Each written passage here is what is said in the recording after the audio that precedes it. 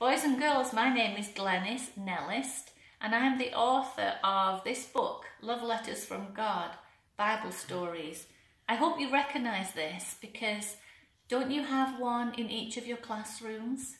Miss Moore told me that. I knew Miss Moore when she was a young girl. Her dad was my pastor when I lived in England, where you are. Um, I live in America now, but I don't have an American accent, do I? I still sound like you. Anyway, I wanted to tell you some exciting news. You might not know, but this book has become a series of five books. Let me give you a quick peek at the other books in the series, just in case your teachers want to get them for your classrooms. So hang on a second. This is the first one. And then we did Little Love Letters from God. This is the same book, but it's um, a board book version.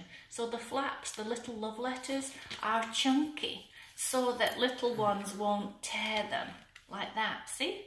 That's Little Love Letters from God. Then we did, have you heard of this one? Girls Who Are Listening. This is a great book. This is Love Letters from God, Bible Stories for a Girl's Heart. It's all the stories of women and girls in the Bible because they're just not as prevalent as the stories of men and boys. That's that one. Then we have Easter love letters from God.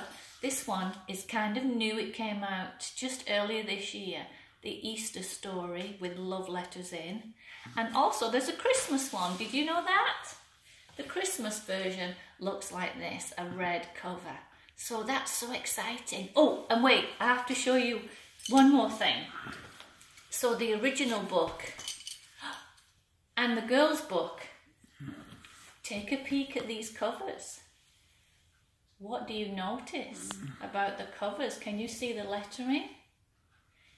Boys and girls, these books have been published in Korean. Isn't that cool? So God is good. Anyway, I have a special favour to ask you.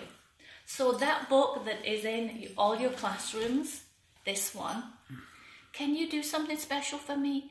Can you write me a letter and tell hmm. me what is your favourite part of this book?